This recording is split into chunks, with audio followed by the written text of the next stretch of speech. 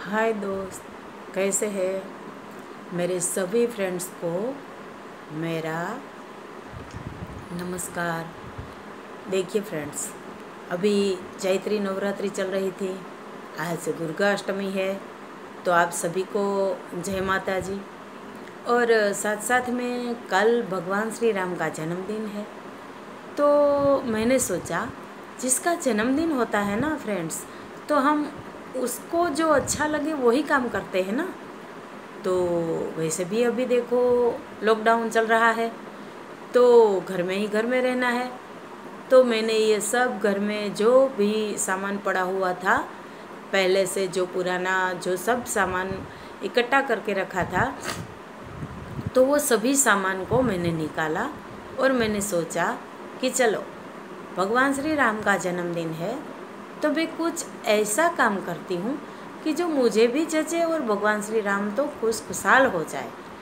तो मैंने ये घर में पड़ी हुई चीज़ों से देखिए तो ये भगवान श्री राम और ये सीता मैया।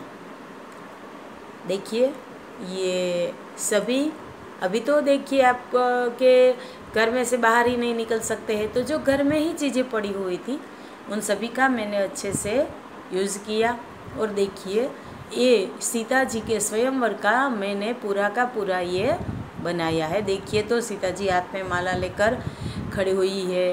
भगवान श्री राम धनुष तोड़ने के लिए रेडी है। तो इसी तरह फ्रेंड्स मैं आपको ये मैसेज देना चाहती हूँ कि लॉकडाउन है लॉकडाउन है। कहीं जाना नहीं, आना नहीं, क्या करें? अभी तो बहुत बोर होते जा रहे हैं। ये कुछ सोचे बिना हम जो हमारे पास क्रिएटिविटी है हमारे अंदर जो स्किल है जो आ, हमें कोई अच्छे से कोई भी चीज़ बनाने बनाने के लिए बनानी आती है तो वो पूरे पूरी बनाइए। देखिए कितना अच्छा लगता है। तो ये आ, मैं तो सोचती हूँ कि लॉकडाउन में हमारा जो स्किल है, वो उसका पता हमें चलेगा। देखिए, मुझे भी, मैं भी विश्वास नहीं कर सकती हूँ कि देखिए तो इतना अच्छा मैं बना सकती थी क्या? लेकिन ये सही है कि मैंने बनाया है। तो हमारे अंदर पड़ी हुई कला या तो हमारी स्किल का हमें भी पता नहीं होता है। तो जब जब हम इसी तरह हमारा जो, हमारे पास जो थोड़ा सा भी टाइम होता है तो उसका सदुपयोग करते हैं। तो देखिए, कितना अच्छा हम बना पाते हैं।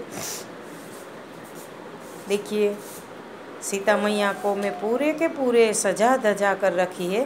देखिए तो स्वयंवर के लिए मैया तैयार है। इसी तरह भगवान श्री राम भी तैयार है। तो फ्रेंड्स इसी तरह घर में पड़ी हुई चीज़ों का उपयोग करके ये लॉकडाउन के दिन है तो हम कुछ ना कुछ क्रिएटिविटी करें। मैं ऐसा नहीं कहती हूँ कि ऐसी ही चीज़ें आप बनाइए।